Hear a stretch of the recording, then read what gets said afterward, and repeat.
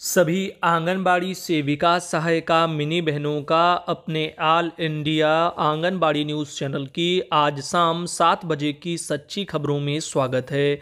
भाइयों बहनों, ऐसा होना नहीं चाहिए था, लेकिन जो हो गया है, उसे कोई बदल नहीं सकता। मैं आप सबको बताना चाहूँगा, कई दुखद समाचार ऑल इंडिया के पास आज आए हैं, जिनमें एक एक करके मैं आप सबको जानकारी देने वाला हूँ। आप सब बहनों को भी जान करके काफ़ी दुख होगा। शोभा रानी बहन है हमारी और मेरठ ज़िले से आती हैं। यानी उत्तर प्रदेश का ये मामला है मथुरा ज़िले का, जहाँ पर टीकाकरण के बाद बच्ची की डेथ हो गई और 23 लोगों की तबीयत भी बिगड़ गई। और ये टीकाकरण आंगनबाड़ी केंद्र में हो रहा था। आंगनबाड़ी में टीकाकरण कराने वाले 30 बच्चों में से 23 बच्चों की तबीयत भी बिगड़ी, अभी भी चल रही है। इनमें से एक बच्ची की शनिवार को डेथ भी हो गई। स्वास्थ्य विभाग की टीम ने मौके पर पहुँच करके मामले की जाँच की है। आंगनबाड़ी केंद्र पर गुरुवार को दो से पाँच माह के बच्चों का टीकाकरण किया गया और उसने भी जो है बेटी चंचल को टीका लगवाया। शुक्रवार को चंचल की तबीयत बिगड़ गई, उसके मुँह से खून आने लगा। शनिवार सुबह उसकी डेथ हो गई, टीका लगवाने वाले 30 बच्चों में से 23 की तबीयत खराब हुई है। तो इस तरह का मामला सामने आया है, जाँच हो रही है। इस मामले में कि जो है, आखिर इसकी वजह क्या रही? तो जो जैसा भी होगा, आगे पता किया जाएगा। कहीं ना कहीं इसमें जो है विभाग की विफलता ही है। स्वास्थ्य विभाग की, कि दवा में कहीं ना कहीं कुछ गलत हुआ होगा, वरना तीस बच्चों में तेईस की तबीयत क्यों बिगड़ती और एक जो अब नहीं रहा, वो भी ऐसा नहीं होता। एक बच्चा अकेला कोई हो तो समझ में आता है कि चलो, कोई ना कोई खराबी के किसी अन्य वजह से कारण हो सकते हैं, लेकिन यहाँ पर ज़्यादातर सबका एक ही दिक्कत हुआ, तबीयत बिगड़ गई और ऐसा सब हुआ। तो कहीं ना कहीं जाँच की ज़रूरत बहुत ज़्यादा है और आने वाले समय में इन चीज़ों को लेकर के खास तौर पर ध्यान देने की ज़रूरत है, जब भी टीकाकरण हो। शोभा रानी बहन है मेरठ से, उन्होंने ये जानकारी भेजी थी और इसके अलावा भी ऐसे ही एक और खबर आई। कि एनआरसी में कुपोषित बच्ची की डेथ हो गई, जाँच इसके लिए भी शुरू की गई है। अब आप बताइए, जो एनआरसी जहाँ पर कुपोषित बच्चों के उपचार के लिए, यानी कुपोषण मिटाने के लिए, उनको बेहतर स्वास्थ्य उपलब्ध कराने के लिए जाना जाता है, वहाँ पर जाकर के भी बच्ची बेचारी नहीं रही। और मामला इस वजह से नहीं है कि बच्ची कमज़ोर थी, बहुत ज़्यादा तो ये हुआ। यहाँ पर विभाग की लापरवाही रही। वहाँ पर जो जिम्मेदार थे, जिनके ऊपर ज़िम्मेदारी सौंपी गई थी, वो वहाँ से नदारद रहे। यानी वहाँ मौजूद ही नहीं रहे। आइए देखते हैं मामला क्या है। मामला है प्रतापगढ़ ज़िले का। मेडिकल कॉलेज के महिला अस्पताल स्थित एनआरसी में कुपोषित बच्ची के दम तोड़ने की घटना को प्रशासन ने गंभीरता से लिया है। सीएमएस ने मामले की जाँच शुरू करते हुए शनिवार को कर्मचारी के बयान भी दर्ज किए। वैसे तो सीएमएस जाँच पूरी हुए बिना कुछ बोलने से बच रही हैं, लेकिन सूत्रों की माने तो जाँच शुरू होते ही स्टाफ नर्स के ड्यूटी से गायब रहने की बात का पता चल रहा है। कुपोषित बच्चों के लिए महिला अस्पताल में चल रहे एनआरसी यानी पोषण पुनर्वास केंद्र में भर्ती लिखा गया है। चिलबिला की जो है आंचल दो, लिखा गया दो साल की थी शायद, शुक्रवार सुबह डेथ हो गई।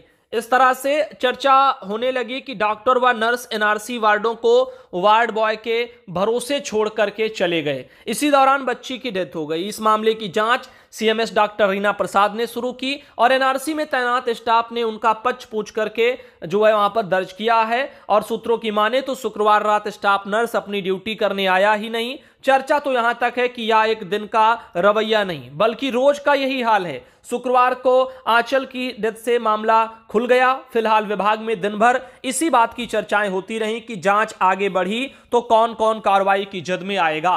अब जिम्मेदार जिम्मेदारियों से कतरा रहे हैं। छोटे से बड़े ले, लेवल पर हर तरह से सबकी जिम्मेदारियाँ कहीं ना कहीं होती हैं। छोटे लोगों की अपने वहाँ पर ग्राउंड लेवल पर अगर है तो बड़े लोगों की उसकी निगरानी की उसकी मॉनिटरिंग की उनके निरीक्षण की तरह की भी जिम्मेदारियाँ सौंपी जाती हैं। तो बड़े जिम्मेदार आखिर इतनी बड़ी बड़ी जिम्मेदारियाँ जो निभाई नहीं जा रही थी उनको लेकर के भी उनकी भी जवाबदेही तय होगी। लेकिन अब देखना यही है, मामले पर लिपापोती होती है या फिर इस मामले में जिम्मेदारों पर सख्त कार्रवाई होती है, जिसकी वजह से यहाँ पर वो बच्ची नहीं रही। ऐसे तरह के दो मामले सामने आए हैं। खैर, आगे चलते हैं। कुछ और भी बातें आप सबको बतानी है, कुछ और भी जानकारियाँ हैं। बात करें हम मंजुला बहन की, ये आती हैं मुजफ्फरनगर से, जिन्होंने अपने वहाँ से मुख्य चिकित्सा अधिकारी जो शामली जनपद के हैं उन्होंने एक लेटर जारी किया है जनपद विद्यालय निरीक्षक को, जिला बेसिक शिक्षा अधिकारी को और जिला कार्यक्रम अधिकारी को भी। यानी अपने भी विभाग के लिए डीपीओ को यह लेटर भेजा गया है 25 अक्टूबर को, जिसमें कहा गया है एक नवंबर से जनपद में टीडी वैक्सीन अभियान संचालित किए जाने के संबंध में। तो भाइयों बहनों, ध्यान देना, आंगनबाड़ी बहनों, एक नवंबर से टीडी वैक्सीन अभियान चलेगा। साथ ही यहाँ पर देखेगा इसमें और क्या लिखा गया। कि यहाँ पर उपरोक्त विषयक दिनांक 25 अक्टूबर 2023 को राज्य स्तर से जूम बैठक में प्राप्त दिशा निर्देशों के क्रम में आपको अवगत कराना है कि दिनांक एक नवंबर से जनपद में संचालित स्कूल और आंगनबाड़ी केंद्र में नियमित टीकाकरण के अंतर्गत टीडी वैक्सीन से छूटे हुए पाँच वर्ष, दस वर्ष, सोलह वर्ष के बच्चों को स्कूलों और आंगनबाड़ी केंद्रों में सत्र आयोजित करके माइक्रो प्लान के अनुसार टीडी वैक्सीन से आच्छादित किया जाना है। उपरोक्त के क्रम में दिनांक 26 अक्टूबर को शाम चार बजे कार्यालय मुख्य चिकित्सा अधिकारी के सभा कक्ष में एक बैठक का आयोजन किया जा रहा है। अतः आपसे अनुरोध है कि कार्यक्रम के सफल संचालन के लिए उक्त बैठक में ससमय से उपस्थित होने का कष्ट करें। इस तरीके से शामली के मुख्य चिकित्सा अधिकारी ने लेटर जारी किया। मैंने पहले भी वीडियो में दोपहर में भी आप सबको बताया था कि एक से दस नवंबर तक ये अभियान चलेगा और आप लोगों को थोड़ा इसमें ध्यान देने की आवश्यकता है। साथ ही साथ सुशीला बहन है, सीवान से आती हैं और उन्होंने अपने वहाँ से के मैटर भेजा था जो कि पहले हम दिखा चुके हैं। वही वाला प्रारूप था, आंगनबाड़ी जो सेविका सहायिका बहनें बिहार में हैं और उनसे स्पष्टीकरण मांगे जाएँगे, उसी से रिलेटेड था। साथ ही ये देखिएगा, एक बहन है कुसुमलता मथुरा से, उन्होंने ये लिख करके भेजा है, भैया जी कभी कभी रोटी नसीब नहीं होती है मंत्रियों की तो जबान जो है इस तरह से कि हमारे जो है बराबर काम करें तो पता चले उनको।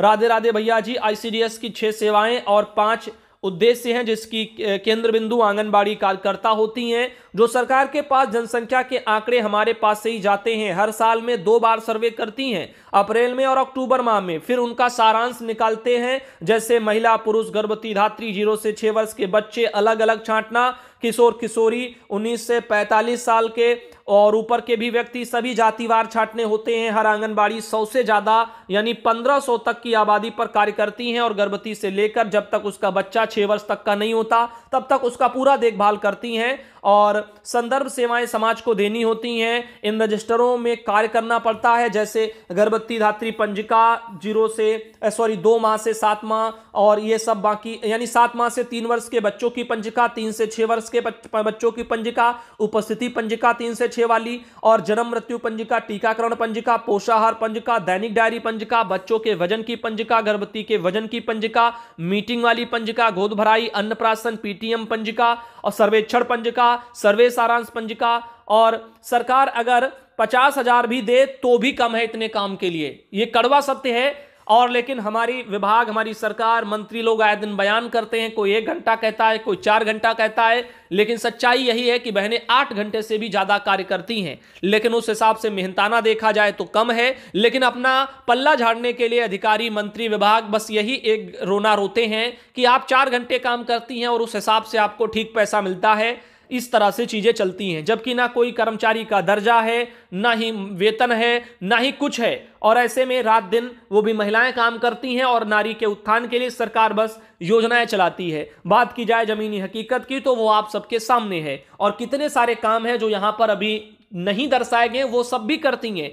तीन से छह वर्ष वाले बच्चों को शिक्षा देना प्री प्राइमरी की। चार घंटे उसके लिए, अपने सेंटर पर इन पंजिकाओं को मेंटेन करना, एक घंटे के लिए, एक घंटे के लिए गृह भ्रमण करना, और तमाम तरह के जो भी एनजीओ के थ्रू के काम आए, तमाम योजनाएँ सरकार की आए, उसका भी प्रचार प्रसार करना। कभी भी कोविड जैसी विषम परिस्थितियाँ आए, उसमें भी अपनी भूमिका निभाना। गाँव में कुछ और हो, कहीं पराली जलाना, कहीं कुछ तो कहीं कुछ, उसमें भी जो है इन्हीं मात्र समितियों में इनको लगा दिया गया, वहाँ से उनसे भी सारे काम कराए जाते। तहसील लेवल से कोई जो है जानकारी चाहिए जाए, उसमें भी कार्यकर्ताओं से ही लेखपाल जो है फ़ोन करके या जानकारी लेकर के डायरेक्ट जो है रिपोर्ट मांगते। यानी कहने का मतलब है कि सारा काम सब तरह का बस इनके कंधों पर नीचे चल रहा है। ये हर केवल महिला बाल विकास विभाग का काम नहीं, संभाल नहीं। तमाम विभागों का, तमाम तरह की सरकारी योजनाओं का, सबका काम, सबकी ज़िम्मेदारी कंधों पर लेकर के आगे बढ़ रही हैं और जिसका नतीजा आप सब जान रहे हैं, सरकार इनकी फिर भी नहीं सुन रही। प्रतिभा बहन है कानपुर नगर से, जिन्होंने अपने वहाँ से के कार्यक्रम का फ़ोटो भेजा है। बच्चे का अन्नप्राशन टाइप का मनाया जा रहा है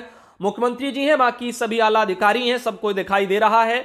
और साथ ही यही कहना चाहेंगे, ये सब अच्छा लगता है, लेकिन कार्यकर्ताओं के विषय में भी सरकार को सोचना चाहिए। चुनाव से पहले वोट के लिए तो आपने बोल दिया 2017 में कि जो है मानदेय सम्मानजनक करेंगे, सेवा शर्तों में सुधार करेंगे, जिसका अभी भी बहनों को इंतज़ार है।